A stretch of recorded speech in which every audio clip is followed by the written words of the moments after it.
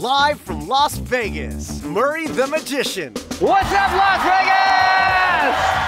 Where magic and comedy collide. Come on!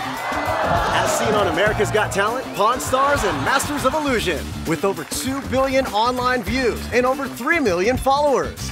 The misfit of show business. One, two, three. It's gone. One, two, three.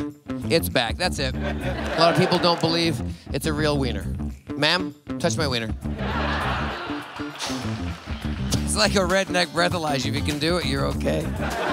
Hilarious comedy. And mind blowing tricks. Check that out, huh?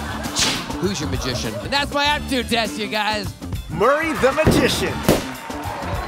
Coming to your screen for the first time with his one hour comedy special. It's gone!